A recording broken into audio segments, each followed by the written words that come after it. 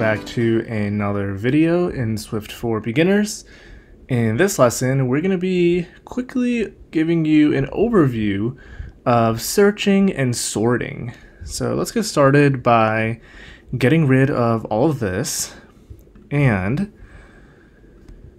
let's uh let's discuss this a little bit. So the nature of searching and sorting is pretty important in general in computer science. Um, and what I mean by that is, let's say you have a array or a collection of numbers, and you want to find if a given number is in that array.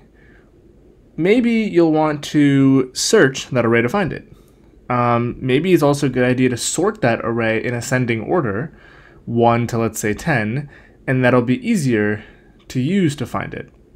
So searching and sorting have a variety of algorithms um, that are that have been made over the past several years in computer science, and I just wanted to introduce the concept here, uh, seeing as it's a beginner's course. But this is a topic that is heavily asked in interview questions, and I encourage you to go look at various searching and sorting algorithms online and other uh, courses. So we're going to start by creating an array of numbers. This is going to hold a bunch of numbers. Let's start giving some variety in here. And what we want to do is we're going to write a function that's going to return true or false if a given number is in this array. So we're going to write a function um, is number in array and it's going to take a number which is going to be an int and it's going to take a array which is going to be an array of ints and it's going to return a bool. And down here we're going to call this function um, with any given number. So by default this function will return false right? Um, which basically means if we haven't found it at this point there's nothing else we can do so just return false what we want to do here is use a for in loop. So what I'm going to show here is a very basic way to um, do a simple search, which is basically iterate, um, in other words, go through one by one each element and try to see if that element is the number that we're looking for. And there are a variety of searching algorithms, but I just want to introduce this to you. So we're going to do for, um, let's say x in array, if x equals number, return true. And that's basically our searching algorithm. So it's very basic, but what we're going to basically be doing is for each thing in the array, which is our input, and I just called the thing x. Um, if you recall, we can call this whatever we want. If that thing is the number that we want, which is the other parameter, which is an int, return true. Um, and of course, if it's not, it'll keep going. And um, something important to recognize here is, let's say we are looking for 3, and there are multiple occurrences of 3 in here. The first time it encounters what we're looking for, it'll return, and it won't even bother going down the rest of the rest of the array. So let's uh, let's see this in practice. So we're gonna say um, is number. Okay, let's see not wanting to autocomplete, so let's do this. Okay, it's, is 3 in numbers. And if we come over here, we'll see the given output. Now let's see if we put some other number that isn't in the array, we'll get a different output.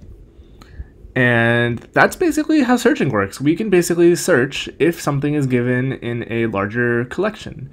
Now why is this important? So let's say you have an email app and you want to delete a particular email, but it's in multiple inboxes and folders. Maybe you have the emails in an array and you would want to basically cycle over and search for all the occurrences of that email so you can delete it. That's a real world example of this. So similarly, um, for sorting, now it's important to note that this array, for the most part, up until like this point, is in ascending order. Now, oftentimes your collection of data won't be in ascending order. It might be 12 and 1 and 2 and 13 and 0 and 3 and 4. Now, this brings me to the point of why sorting is important. if we know that a given set of numbers is sorted, it makes our lives easier. So if we if we know it's in ascending order and let's say we're looking for 5, what we can do is we can in, in essence keep going through the elements one by one until we find something that's either 5 or something that's greater than 5. For example, if we find a 6, at that point because we know the numbers are in order, after the 6, like there surely can't be a 5. So at that point, we can just return false and say, hey, I got to a 6 and there is no 5 in here, therefore there is no 5 in this collection. Similarly, what you can also do if uh, the collection of numbers is sorted is you can start in the middle and you can say, okay, is what I'm looking for larger or smaller? And as a result, you can either start going through the numbers in here to the left or to the right. And what I just described is a searching algorithm called binary search. Whoops, I can't type today. So the nature of it uh, being called binary search is you start in the middle of a given array and you either go left or right, right? So let's say we go to the left, let's say we know 5 is smaller, or like 2 is smaller, so we'll go here, we'll start at the middle here and be like, okay, is 2 going to be on this side or this side? And we know it's going to be on this side, and surely there's R2. So that is the nature of sorting and searching and why they go hand in hand. Um, binary search requires that a given array of numbers is sorted because if it wasn't sorted, um, the, the notion of going either to the right or left based on if the number is larger or smaller doesn't hold up.